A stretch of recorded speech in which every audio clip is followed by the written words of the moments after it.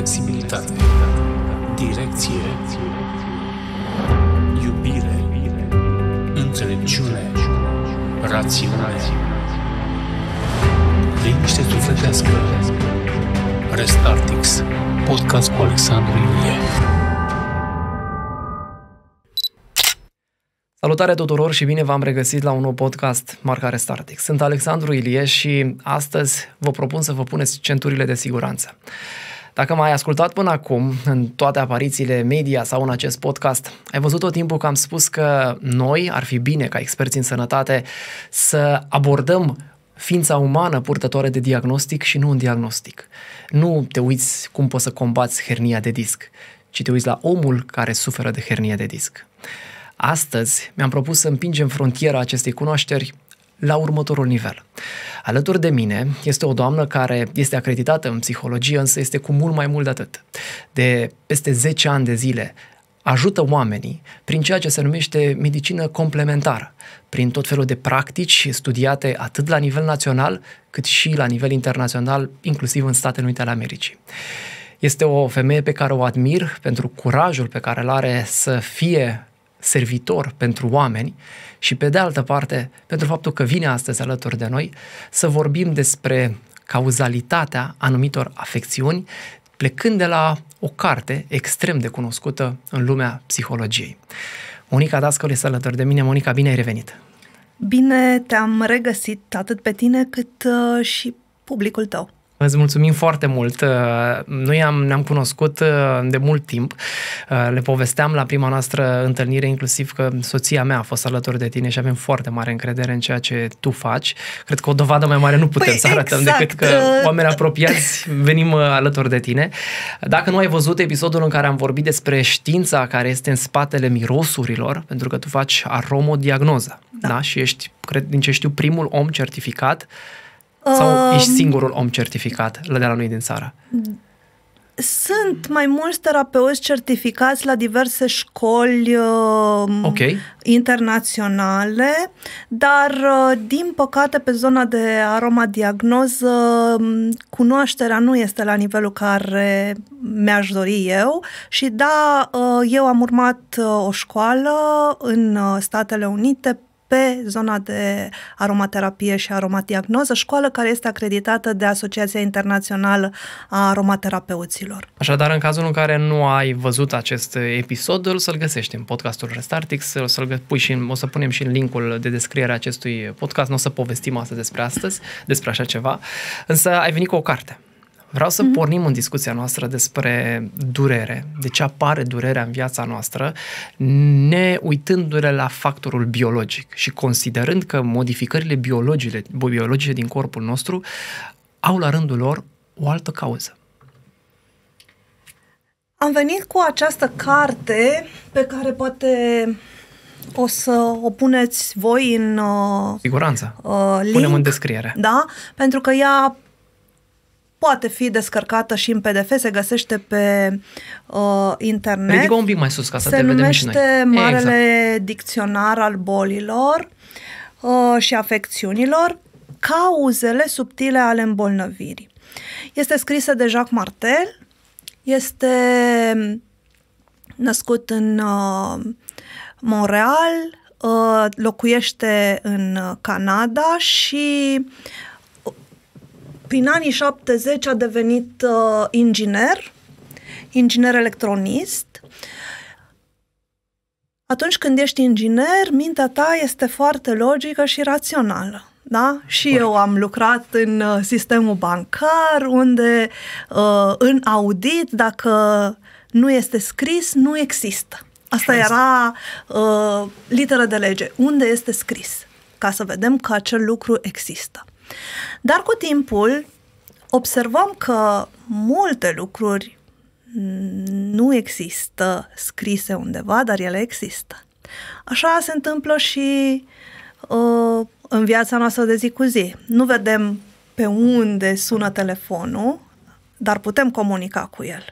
Nu vedem undele, dar ele există. Și sunt multe alte exemple de acest gen. E, acest domn având el diverse boli și mama lui a început să își pună întrebări cum merge curentul și totuși nu-l vede, cum funcționează anumite lucruri electrice și totuși noi nu vedem electricitatea, da? poate vedem cablu prin care el circulă. Și a început să studieze prin anii 75-80 um, alte Perspective. terapii, perspective, punându-și întrebări despre cauzele acestor boli care, practic, nu aveau o explicație medicală. Adică e foarte important să ne uităm atunci când avem o boală, să mergem la medic și să vedem cauza fizică, dar sunt anumite boli la care am o cauză fizică, dar sunt și alte boli la care nu am o cauză fizică.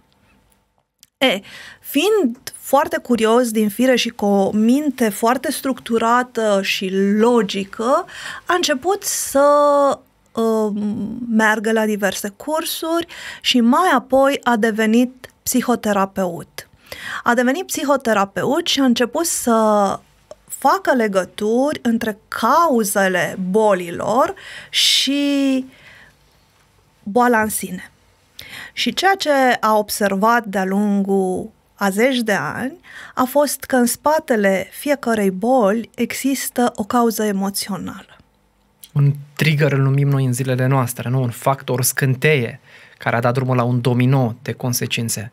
Da, de obicei cam așa se întâmplă și de cele mai multe ori, um, dacă noi nu conștientizăm, mergem la medic, luăm medicamentele pentru că așa suntem obișnuiți, um, boala, să zicem, dispare, dar noi rămânem pe același tipar comportamental și de cele mai multe ori boala ori reapare în același loc, ori se mută la un alt organ sau în altă zonă a corpului.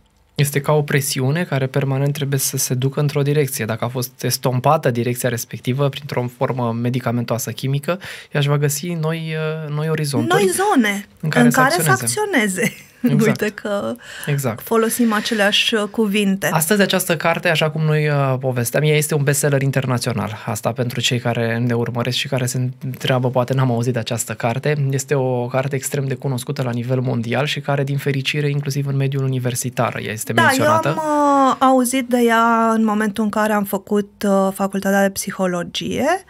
Uh, nu mi-amintesc exact la care din uh, materii, dar uh, știu că unul din profesori uh, ne-a spus că ar fi util să mergem uh, și să studiem și zona asta a cauzelor emoționale, pentru că în psihologie facem legătura dintre emoțional și mental. Da? Noi există Institutul Inimii, da?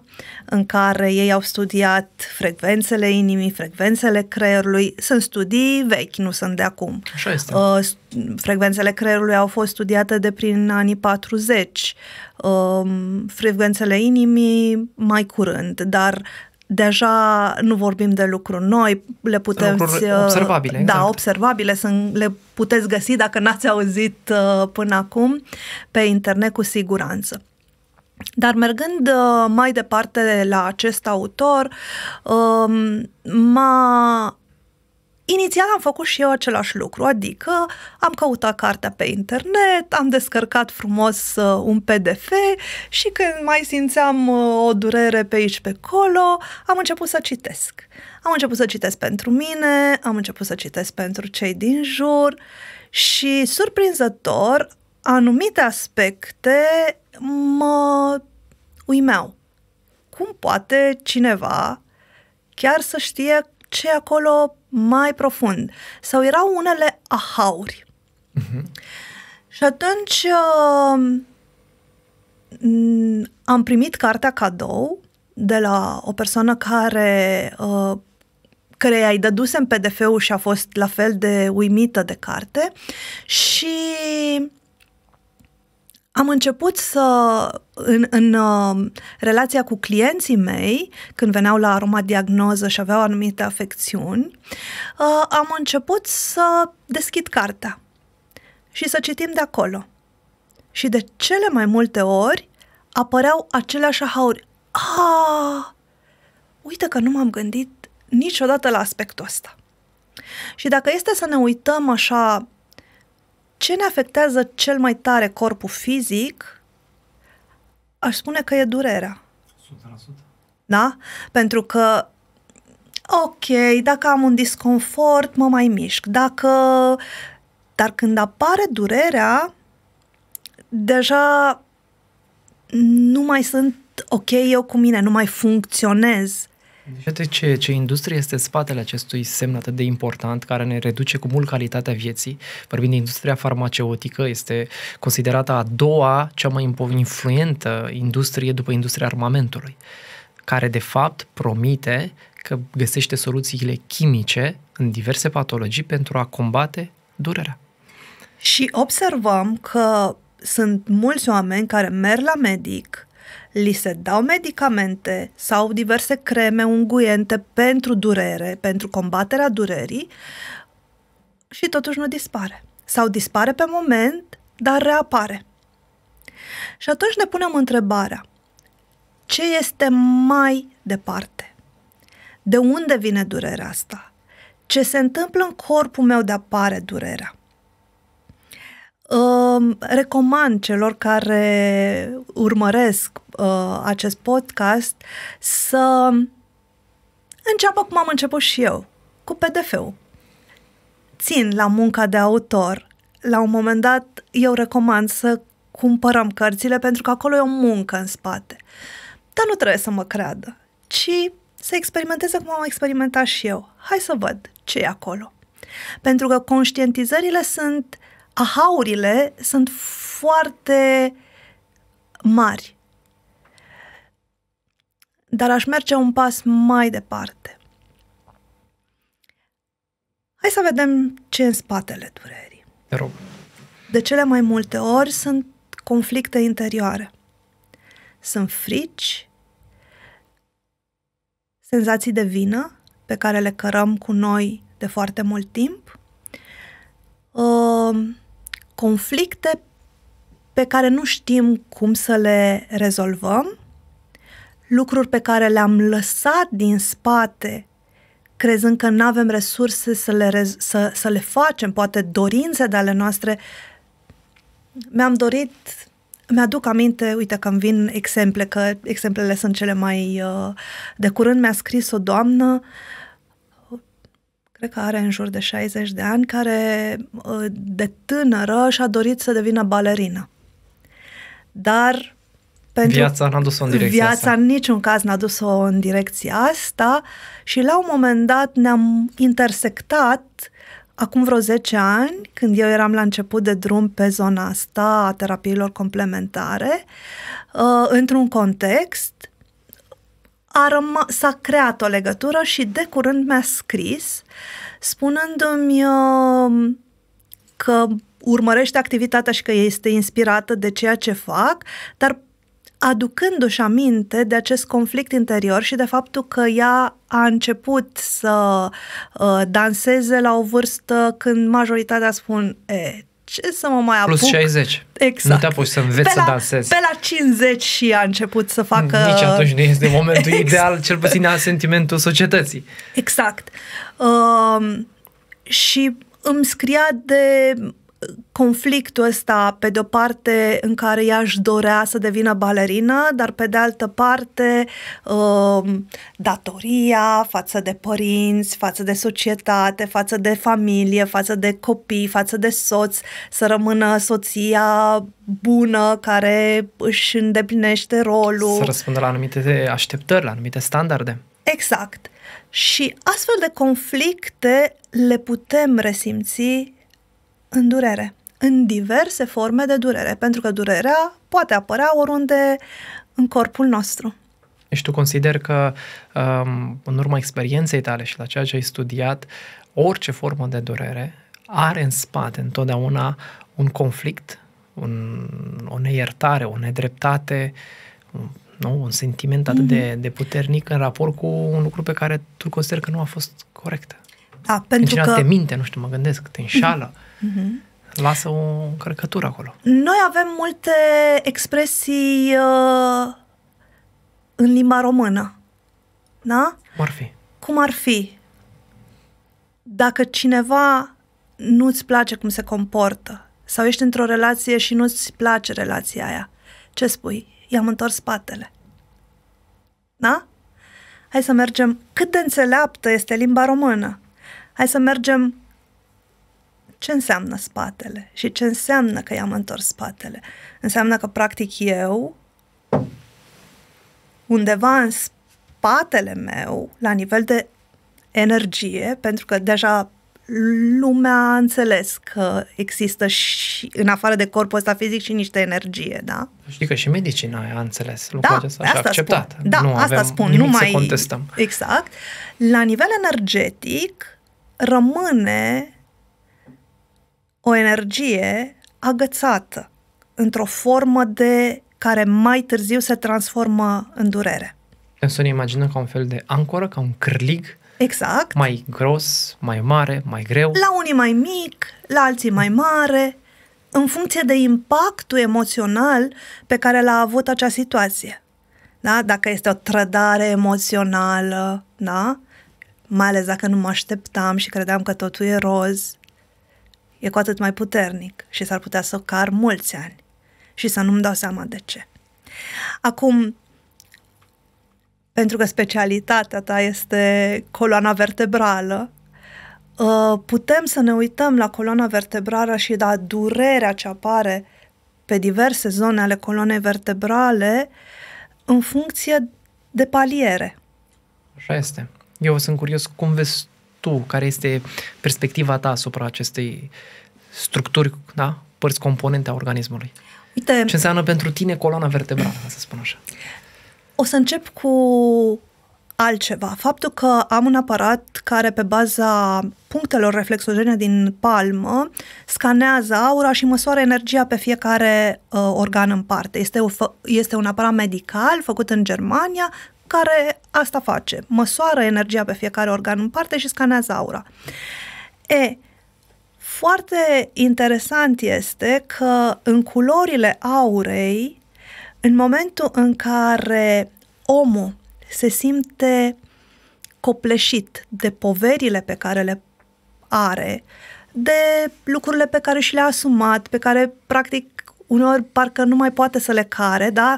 Vreau să fac și proiectul ăla, vreau să ajut și copiii, vreau să fiu și soția perfectă, vreau și la job să fiu și tot vrem și vrem și vrem.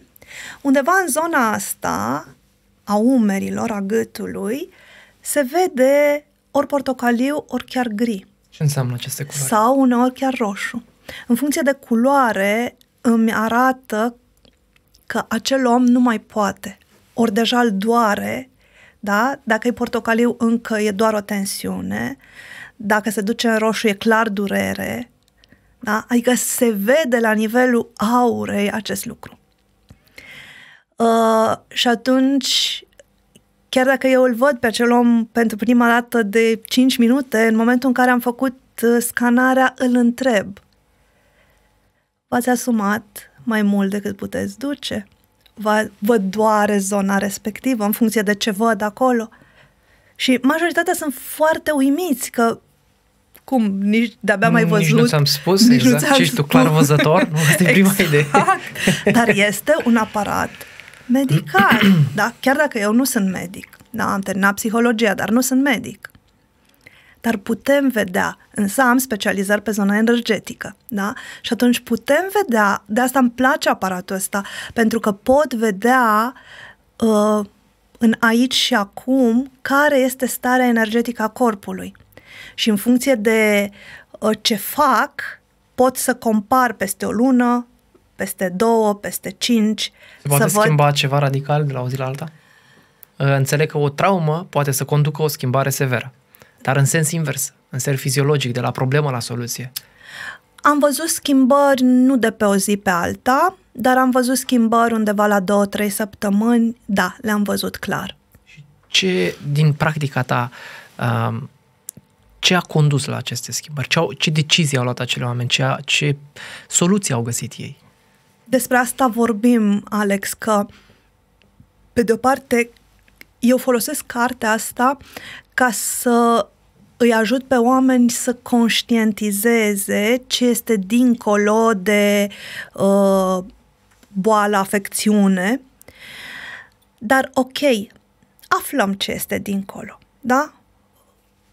Am discutat câteva lucruri și noi. Un conflict. Un conflict, o emoție, o Furie. furie. Sunt foarte Exact. multe... Sunt câteva Da. lucruri care sunt puternice și care au ulterior multiple derivate în funcție de acțiunile noastre, însă furia, supărarea, um, starea de, s- de nervozitate pe o situație pe care o consider nedreaptă. Mhm. Sunt lucruri destul de larg răspândite în, în viețile oamenilor. Aș vrea să vin și să punctez puțin, pentru că furia nu este o emoție primară, ci furia, de cele mai multe ori, ascunde o neputință. Și atunci când un om este furios, e important să mă uit, sunt furios pentru că ce nu pot eu să fac sau ce nu depinde de mine în acțiunile mele. Exact, foarte, foarte adevărat și cu rațional. Raționament, așa cum îmi place mie tot timpul. Da, te pentru simți că furios. uh, este important să înțelegem și cu mintea ceea ce se întâmplă la nivel emoțional. Noi am fost educați, în general, să nu ne uităm la emoțiile și la trăirile noastre. Dar din ce în ce mai multe studii arată faptul că emoțiile creează niște blocaje energetice care ulterior creează boli. Dar practic ce facem este că redescoperim ceea ce medicina chineză știe de peste 5.000 de ani. Da, e un alt mod de a, de a, de a privi lucrurile și uh, aici vreau doar să fac această observație că m- medicina pe care noi o știm astăzi este a înțeles foarte bine din perspectivă din nou chimică Uh-huh. faptul că o emoție are și o corespondentă chimică, iar un tablou clinic de durere și o patologie are din nou o problemă chimică. Și de aici au făcut foarte multe corelări între supărare, dragoste, starea de îndrăgostire, între fericire și reacțiile chimice care se nasc și fiziologia până la final a organismului. Deci înțelegem din ce în ce mai bine faptul că a avea un, o conștientizare în primul rând a emoțiilor, a le observa, să fii prezent că experimentezi supărarea conduce la o cu totul și cu totul altă biochimie mult mai blândă față de răul pe care poți să ți-l, să ți-l faci singur, pentru că accepti să fii supărat într-o manieră inconștientă. Când devii conștient, am observat, cel puțin în evidențele astea științifice pe care le-am am avut șansa să le citesc, faptul că sfera chimică este mult mai blândă. Acidul, dacă vrei, este uh-huh. mult, mult mai, mult mai blând. Deci avem din ce în ce mai multe, să spun eu, lucruri comune în, între, între noi doi. Uh, Eu cred că cel mai util ar fi o interrelaționare între medicina tradițională uh, și partea alternativă.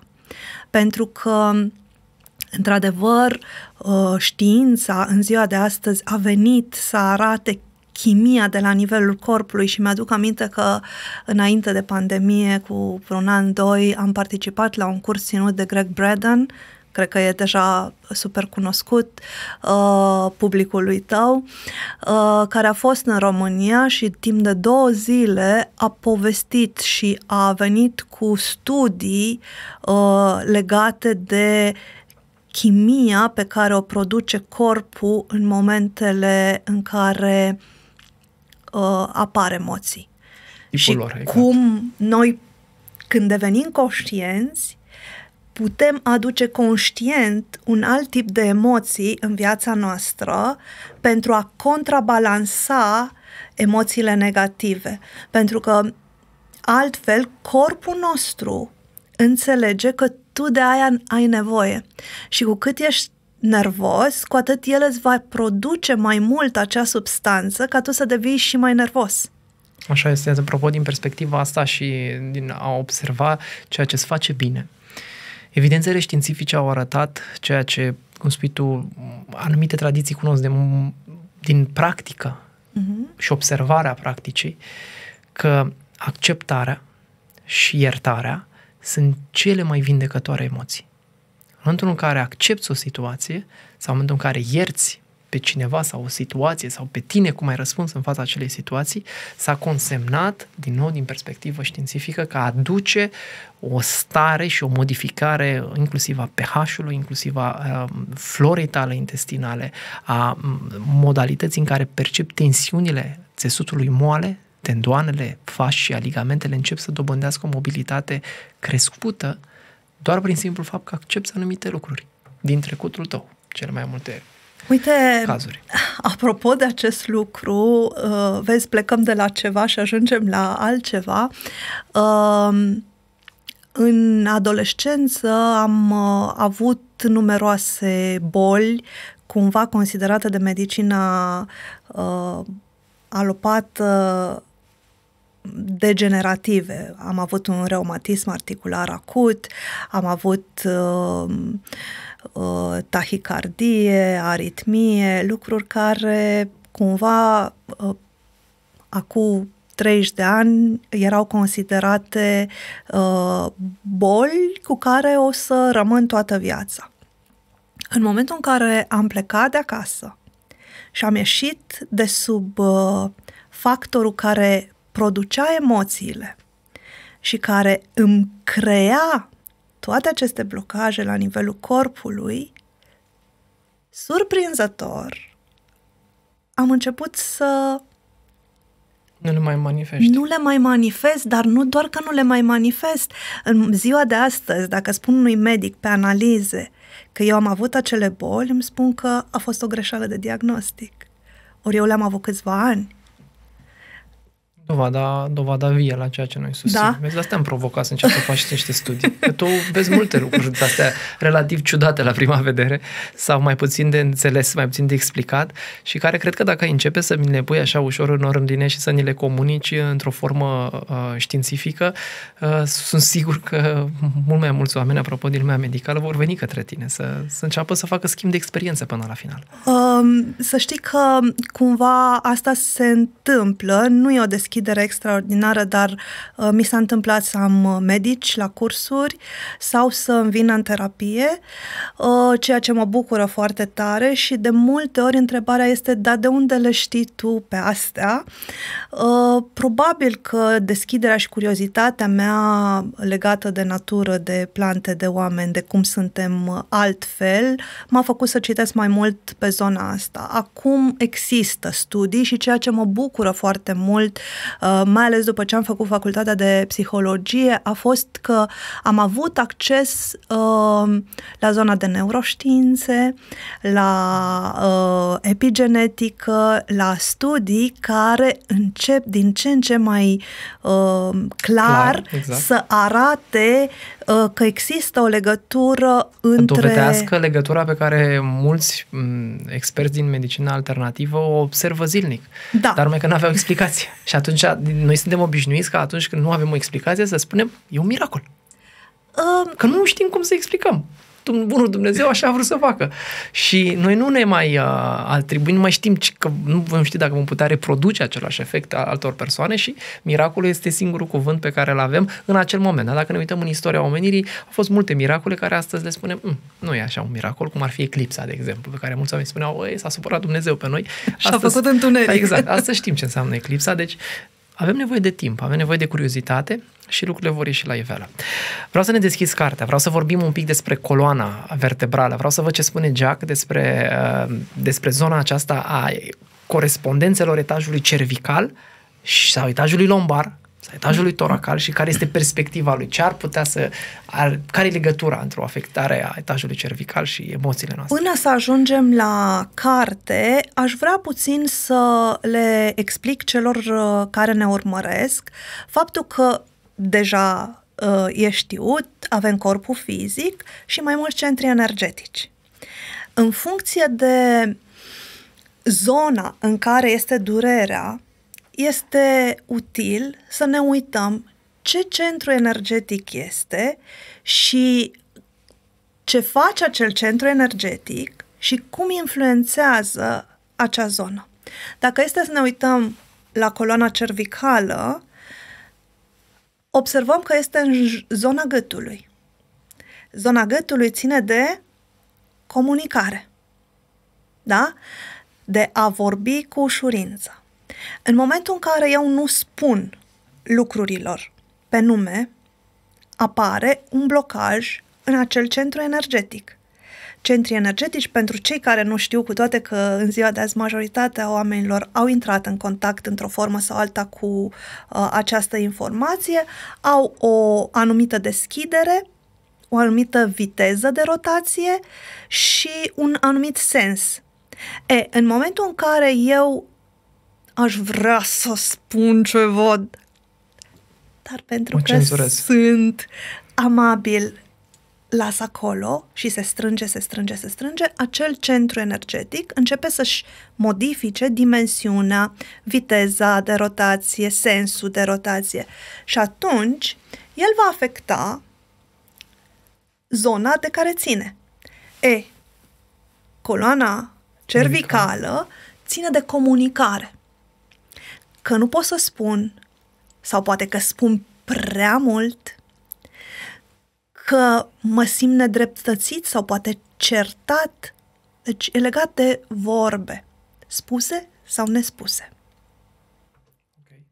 Dar um, Jacques Martel uh, vine și ia, dacă sunteți curioși, e, e dificil să stăm, că am sta, am face o emisiune de câteva ore, ia fiecare uh, Vertebră. vertebră în parte și descrie cauzele subtile uh, ale afecțiunilor pe fiecare vertebră. Sau ca să știți, sunt peste 1200 de pagini care sunt puse în această carte și la care veți avea acces. Vom pune un link și veți putea să descărcați oricând sau puteți să o comandați mai bine și să o aveți acasă în format fizic, însă o faceți și în formatul acesta electronic. Bun, mergem mai jos, da? Și partea toracală este de la umeri până la plex, da? Ce avem aici? inima? Inima, da? Avem un centru energetic al inimii. Acest centru energetic este responsabil pentru toată zona asta. Deci ce avem? Inimă, plămâni, coloana vertebrală și brațele.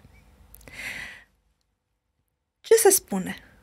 De obicei, de exemplu, când moare cineva, a murit de inimă rea. Da?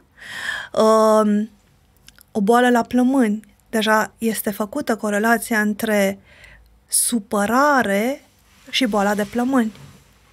N-a fumat, domne, niciodată și totuși a făcut un cancer la plămâni.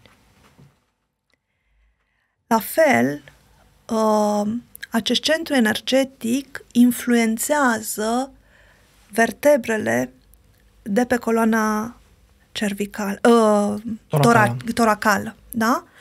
Și atunci, toate supărările noastre profunde, toate fricile și neîmplinirile noastre emoționale ne afectează această zonă.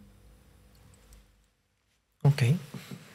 Și dacă mergem mai jos, avem zona lombară, unde foarte multe persoane au probleme, inclusiv uh, ajung la hernii de disc sau Da, e incidența cea mai crescută. Cei mai mulți oameni care suferă de dureri de spate, de fapt, domiciliul este în zona lombară. E, ne uităm iarăși din punct de vedere energetic. Ce avem? Centrul energetic bazal, care este coccisul, la terminația coloanei Coloanei. vertebrale, ține de material, de zona materială și de supraviețuire. Dacă m- eu nu reușesc, prin mijloacele mele, să îmi asigur zona asta că vreau o casă mai mare sau poate nici n-am locuință. Uh, sunt tot felul de griji pe care le avem legate, oare mai am uh, mâine job sau nu am? Am cu ce să-mi plătesc ratele sau nu am?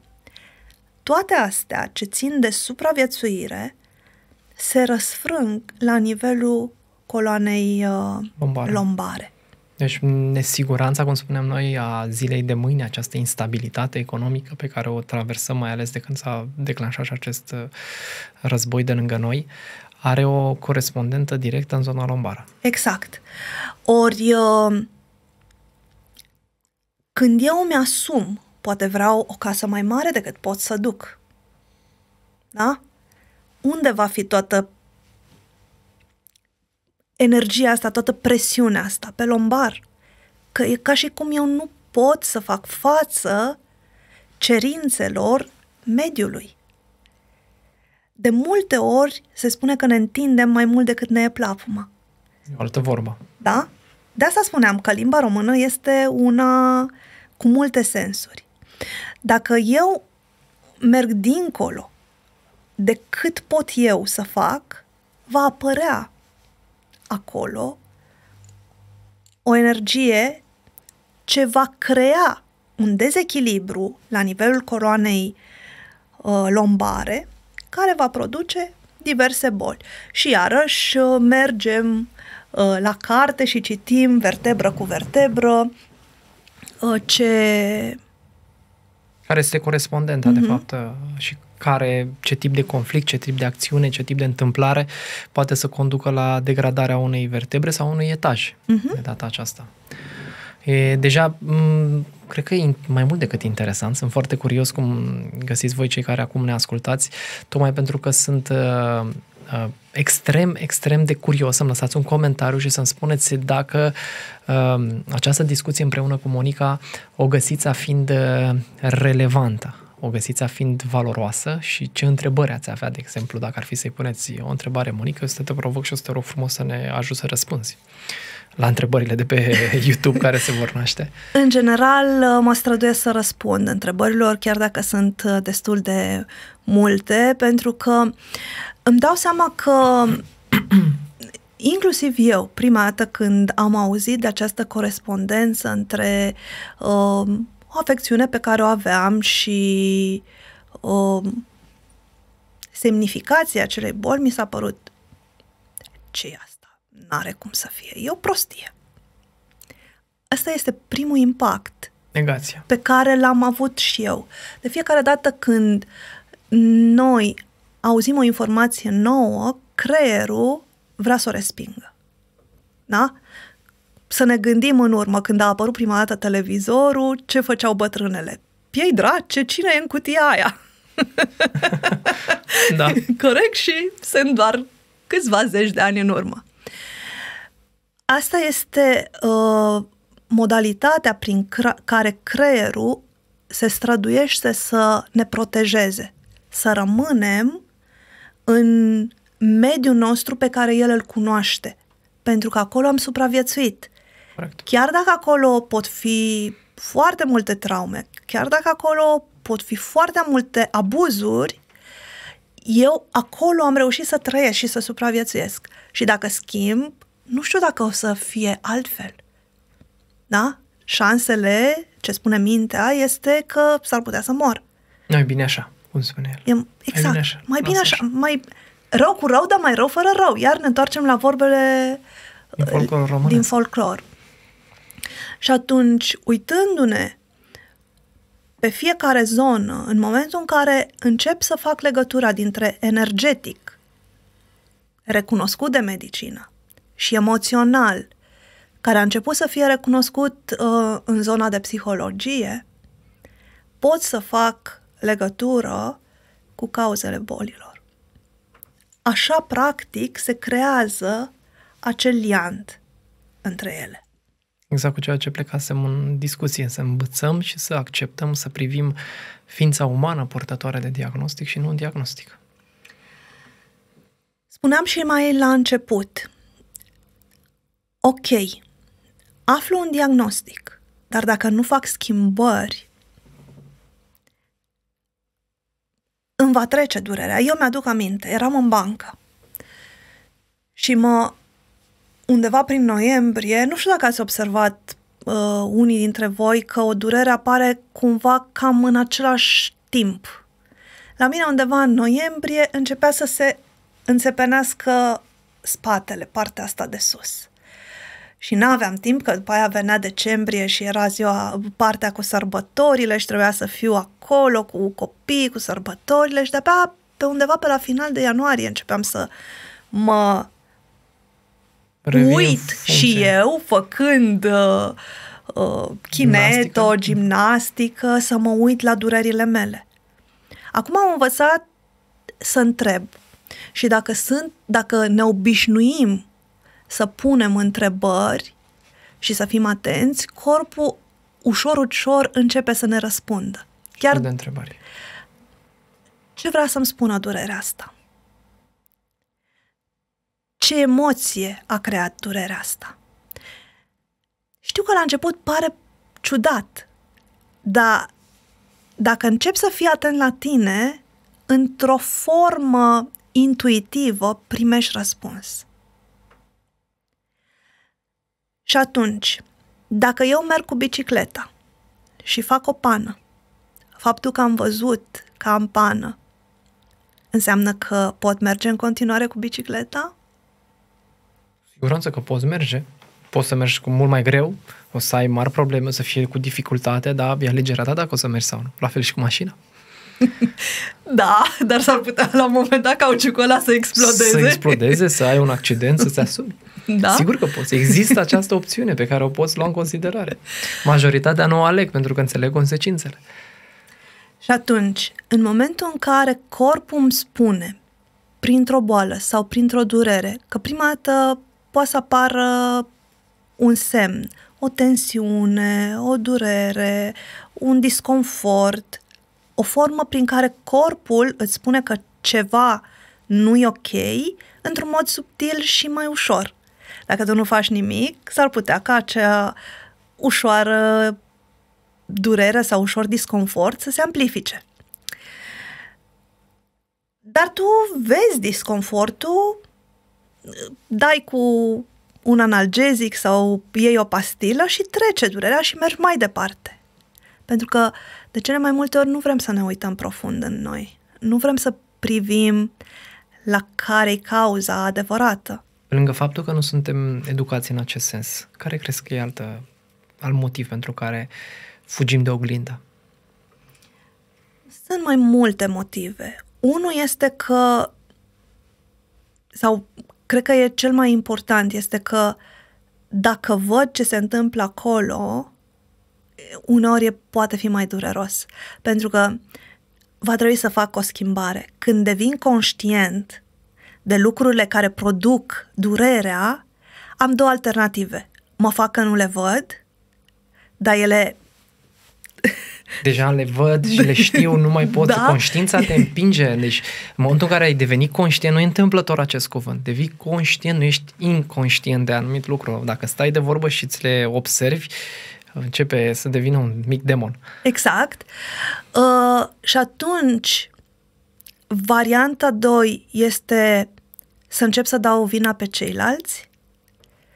Uh, uite ce mi se întâmplă, mă doare spatele că mă ține prea mult angajatorul la muncă și muncesc prea mult o 8-10 ore și poziția mea este incorrectă și când, de fapt, lucrurile stau la noi. Schimbările nu le pot, poate face nimeni. Doar noi putem face schimbarea cu noi, cu propria persoană. Nu putem să schimbăm copilul, nu putem să schimbăm soțul ca și caracter, putem să-l schimbăm ca și persoană, adică să fie altcineva, dar va veni cu aceleași, cu aceleași provocări. Pentru că până când nu înțeleg că la mine stă, este soluția, schimbându-mă eu, se va schimba tot în jurul meu, e foarte dificil să mă uit. Și atunci mai bine nu vreau să văd. Pentru că nu vreau să mă schimb eu. Exact. Este ce povesteam puțin mai devreme legat de creier, din instinctul de supraviețuire, nu vreau să fac schimbări. s-a demonstrat deja la nivel de neuroștiințe că creierul va tinde să, să, să meargă de fiecare dată pe aceeași uh, drum bătătorit, ca să vorbim popular. Da? Să nu intrăm în zona aia de termeni și îmi place să vorbesc pe un limbaj okay. pe care să-l înțeleagă toți. Și în momentul în care alegem alte căi, în mod conștient?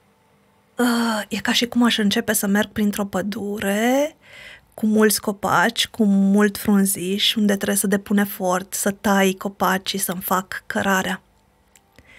Și ce să vezi, dacă trec doar eu pe acolo o dată, până trec a doua oară, s-ar putea ca iarba să crească la loc și să muncesc din nou cu drumul. Deci e un efort ca eu să fac schimbarea. Pe când să mă întorc înapoi la vechile obiceiuri e ceva simplu și natural. Cu toate că am înțelege că schimbarea mi-aduce beneficii. Când înțeleg într-adevăr că schimbarea mi-aduce beneficii, s-ar putea să am motivația să fac schimbarea. Dar mintea va tinde totdeauna să-mi spună de unde știi tu că alea sunt beneficiile? De unde știi? Sunt convinsă că pe, printre cei care te urmăresc pe tine sunt nenumărate persoane care au început, de exemplu, să facă mișcare, au văzut cât de bine se simt dar totuși e mult mai simplu să stai și să te uiți, ia uite ce aș vrea și eu să fac așa mișcare și ia uite ce fain ar fi. De mâine. De mâine. Sau de luni. Sau de luni. da? Pentru că ce se întâmplă când încep să fac mișcare? Începe să mă doară, să am un disconfort. Corpul face orice ca să mă întoarcă la starea inițială. Tu făceai mișcare din degete la telecomandă. De ce să faci acum din tot corpul? de asta avem educație, Monica, și de asta educația ne oferă exact ce spune și tu, înțelegerea, care apoi reduce această modificare în conștiința ta, care odată produsă nu mai poate fi niciodată întoarsă decât într-o manieră patologică, să ai o problemă reală la nivel de cortex. Dar când conștiința ta înțelege un drum, el îl va urma, tocmai pentru că se naște acea siguranță din pădurea plină de frunzișuri și un drum pe care nu-l știi, cunoașterea și informația uh, aduce lumină, creează autostrăzi. Ceea ce apreciez la ceea ce faci tu este că vii cu educație și creezi comunități. Pentru că cel mai simplu să facem schimbarea este când avem un însoțitor, când avem cel puțin o persoană care să ne aducă constant informație, educație și care să ne și arate. Creierul nostru are niște neuroni oglindă și cel mai simplu mod când vreau să fac o schimbare este să o fac cu cineva care deja face acel lucru. Ăsta e motivul pentru care prind uh, exercițiile pe care le faci tu, programele pe care le faci, pentru că atunci când tu faci exercițiu online, îl vezi pe celălalt și corpul, prin acești neuroni oglindă, înțelege și face cu mult mai mare ușurință acele mișcări. Pe când dacă tu te apuci singur acasă și vrei să faci... Are nesiguranță. Exact. Pentru că nu are oglindă. Așa este ai atins un subiect foarte important Așa care că, să vorbim mult. Uh, eu spun felicitări pentru toate programele pe care le faci, pentru că în felul ăsta poți aduce o schimbare reală e adevărat, e foarte important ca mișcarea să fie corectă, ca um, ritmul, ca um, ordinea mișcărilor să fie corectă. Dar doar dacă ne gândim la neuronii oglindă, e modul în care noi învățăm cel mai ușor. Și modul în care tu faci lucrurile astea este extraordinar. Mulțumesc foarte mult apropo de acest exemplu și de psihologie și mai ales de psihiatrie. Aveam șansa să vorbesc la un moment dat cu un uh, psihiatru și psiholog totodată, Lucian Iordănescu se numește și îmi spunea Alex, eu uh, am avut șansa să lucrez cu ofițerii care lucrau în marină. Se scufundau în submarine. Aveai momente în care și 40-50 de zile nu vedeai soarele. Totul era artificial.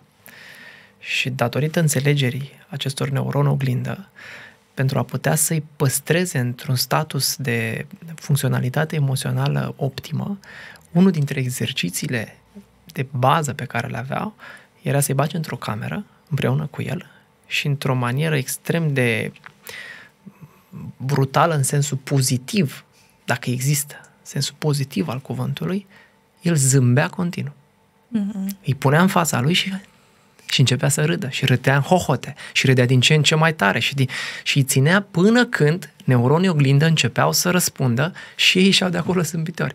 Și spunea, da, pare o prostie, o terapie de, de copii, dar în realitate e foarte multă știință. Și aici este aplică, era aplicată evident pentru a preveni depresia și stările acestea de anxietate în rândul ofițerilor, însă noi înțelegând toate aceste lucruri știm, așa cum tu ai spus, că exemplu personal și nu în ultimul rând, tot timpul se spune, nu, leadership e cel care lipsește tot timpul. Dacă ai pe cineva care să-ți arate în orice domeniu, da? Și la copii, la grădiniță, tot timpul face educatoarea și apoi brusc încep și ei să urmeze exemplul respectiv pentru că știm că există această formă de învățare. Vreau să, să, uităm, te, să te uh, provoc, să știi. Să ne uităm la căscat. La căscat, exact. Da? să, nu, te, nu începe, că dacă începe unul, pornesc toți, nu? Exact. exact așa se spune. Știi? Că până ajungem noi la starea aia să râdem și să zâmbim, uh, durează. Dar căscatul se ia imediat. Uh, și apropo de râs, tot medicina chineză, pentru că asta este cu o vechime destul de mare, uh, are această știință a râsului. Ei ies în aer liber și râd. Sunt exerciții specifice, ore, clase, cum mergem noi la clasă de sport sau așa, ei au clase de râs. Are o glumă de multe ori, însă, repet, tocmai de asta, aducând informațiile acestea de rațiune, reușim să le acceptăm. Pentru că dacă vin și spun una dintre cele mai vindecătoare medicamente nu se găsesc la farmacie. Cum este sportul, cum este râsul, cum este somnul, nu le vei găsi niciodată la farmacie. În schimb, iată că sunt tradiții care le, le practică deja de mulți ani. Vreau să te provoc să știi. Okay. Vreau să ne, să ne iei această carte și să ne introduci în, aceste, în această Biblie, așa am discutând cu colegi de-ai tăi, uh, așa mi-au transmis, faci că Alex, asta este pentru noi permanent glosarul. Când avem o discuție cu un client al nostru în psihologie și în psihoterapie, ei tot timpul spun mergem la ceea ce a scris uh, Jacques și ne, ne uităm prima oară acolo, pentru că o considerăm a fiind o Biblie. Zi-mi de deschis, că văd coloana de aici. Mm-hmm. Am uh, deschis la spate. Ok. Da? Uh, pentru că am zis că asta e zona ta specifică. Da. Spatele reprezintă sprijinul și suportul vieții. Este partea corpului care mă protejează dacă mă simt neputincios față de persoană sau față de o persoană sau de o situație căreia pot să-i întorc spatele. Ce vorbeam și noi mai devreme. Da? Dacă m-a rănit cineva, i-am întors spatele, dar durerea va apărea. Mm. S-a demonstrat, apropo, uh, că trec dintr-una într-alta și putem continua, s-a demonstrat faptul că în momentul în care eu sunt nervos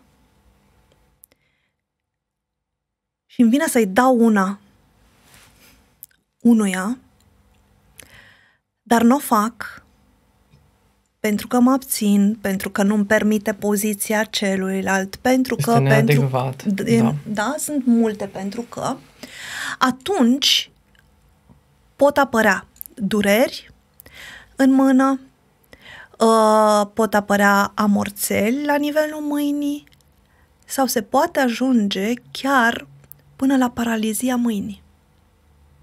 E demonstrat științific făcut studiu pe acest caz. Îmi scapă în momentul ăsta, dar o să mă străduiesc să găsesc Poate informația și vă dau. Da. Dacă, dacă Mi s-a părut fabulos. A fost un studiu pe care l-am uh, primit în facultate. legat de acest aspect și mi s-a părut fabulos cum o durere de la nivelul mâinii poate de fapt să-ți arate E suprimat o emoție. da. Sau o neputință pentru că nu puteai să-i o dai. Sau da, sau o neputință. Eu mă uitam Dar în tot o formatul emoție e acolo. PDF la, la cartea asta, că mie mi se pare foarte interesantă și știu că voi lucrați. Uite, articulații de întorsă. Ah, ce interesant. Întorsa indică faptul că îmi pun niște frâne și nu vreau să fac ceea ce mi s-a cerut. Mă opun și am o nesiguranță față de direcția pe care vreau să merg. Speță glezna, spune. Sau legat de ceea ce fac, încheietura mâinii, în prezent sau ceea ce aș putea face într-o situație nouă. Sunt gata pentru orice, pentru a nu ceda, dar când presiunea devine prea puternică, ligamentele sunt cele care preiau greutatea și se pot rupe. Trăiesc o culpabilitate și vreau să mă pedepsesc deoarece mă opun acelei situații.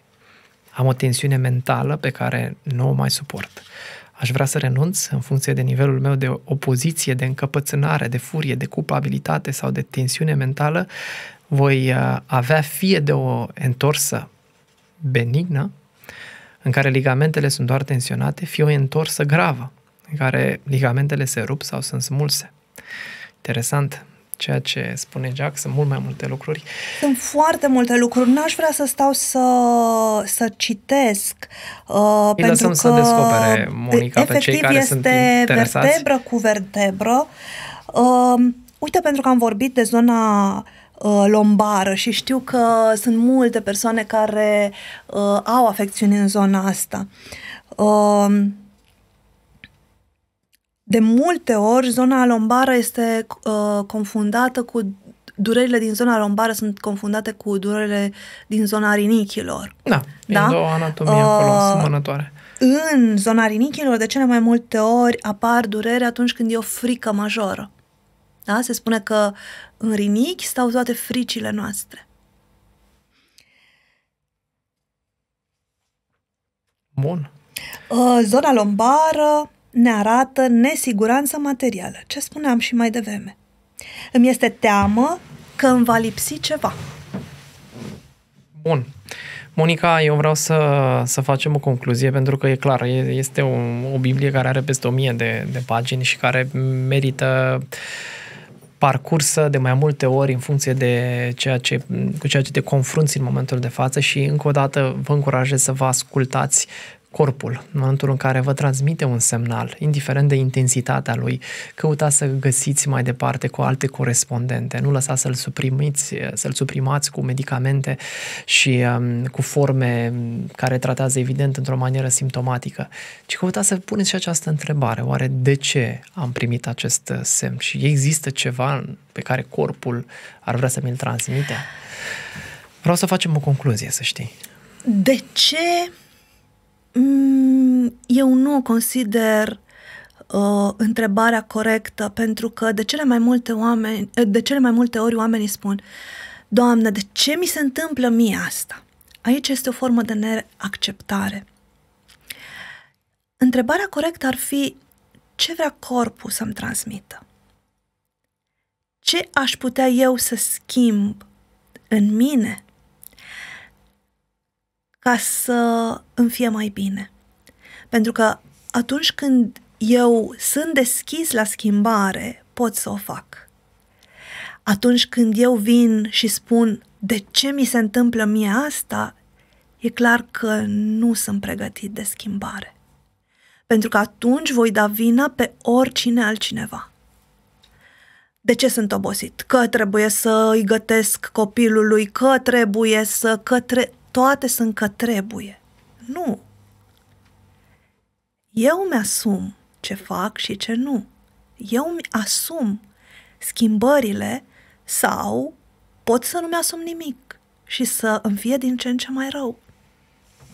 Așa este. E o asumare. Avem această capacitate, aș spune eu, uh, diferența dintre noi și animale este capacitatea de a gândi și a înțelege lucrurile, de a căuta răspunsuri, de a raționaliza, de a înțelege dincolo de ce vedem și de a căuta în noi, de a dori să fac schimbări eu cu mine. Animalele merg pe instinct și instinctele ne ajută la supraviețuire. Dar dacă noi oamenii am merge pe zona de instinct, hai să ne uităm pe stradă ce s-ar întâmpla. Păi, într-un oraș ca Bucureștiu, voi fi tentat să întorc capul după o sută de femei frumoase. Mă voi duce după ele? Că atunci ai, aș merge după instinct, că instinctul da. asta îmi spune. Sau mă gândesc și îmi pun rațiunea în funcțiune și acționez în funcție de raționamentul meu. Că poate altcineva s-ar putea să meargă după fiecare. Este o alegere. Așa este. Asta cred că face diferența dintre un om și animale. Alegerile pe care noi putem să le facem conștient cu noi, cu propria persoană. Aleg să fac sport. Aleg să apelez la Alex. Aleg să învăț mai mult. Aleg să mă educ. Aleg să citesc. Că altfel pot să aleg să stau la televizor. Și e o alegere. Și alegerea de a nu face nimic este o alegere. Da? Întotdeauna. Pot să aleg să beau, știind că acea băutură îmi va face rău. Spuneai puțin mai devreme și închidem uh, de emoții, de oamenii care ne înconjoară. Mi-am dat seama de-a lungul timpului că putem prelua emoții și de la cei din jurul nostru. Fără să ne spună ne- ceva? Da? Ok. Copilul va deveni agitat și nervos dacă tu, ca părinte, vii cu nervii de la servici. Și atunci aleg că atunci când ajung acasă să-mi las gândurile de acolo, știu că e dificil. Și să fiu într-o altă stare când sunt în, cu familia. Aleg să-mi petrec timp în natură cu copiii. Sau aleg să mă fac că sunt lângă ei și de fapt sunt în uh, În altă telefon. parte. Da? Este o alegere. Întotdeauna. Cred că este cea mai bună concluzie pe care o putem trage în urma acestei discuții. E clar că este un, uh, un univers uh, extrem de mare, ca să nu spun infinit, de răspunsuri și înțelegeri de care le descoperim și noi, încet, încet, cu ajutorul cărora începem să înțelegem mai în clar cum funcționează această mașinărie spectaculoasă care este ființa umană. Aș vrea să-ți mulțumesc foarte mult încă o dată pentru faptul că ai fost astăzi aici și am atins acest subiect și de ce nu, poate ne revedem să mai, să mai povestim pe anumite lucruri, poate mai țintit, poate vorbim și despre genunchi, și despre șold, și despre glezna, așa cum spuneai, despre ficat. Sunt curios cu ce ai vrea să, să mai, să mai, ce vrea să mai dezbatem în cadrul acestui podcast în care să o avem pe Monica alături de noi, care sunt curiozitățile tale și nu în ultimul rând cum ai găsit tu discuția de astăzi, te aștept cu comentarii și bineînțeles nu uita să distribui acest material și prietenilor tăi, asta cu o condiție, dacă crezi că a fost ceva de valoare. Îți mulțumesc foarte mult, Monica, încă o dată pentru timpul acordat. Eu îți mulțumesc, Alex, și celor care urmăresc această emisiune pentru Îți mulțumesc ție pentru invitație și lor pentru că au rămas cu noi până la final și alegeți ceea ce este cel mai potrivit pentru voi. Excelent. Așa să fie. Toate cele bune. Timp. Flexibilitate. Direcție. Iubire. Înțelepciune. Rațiune. Liniște sufletească. Restartix. Podcast cu Alexandru Ilie.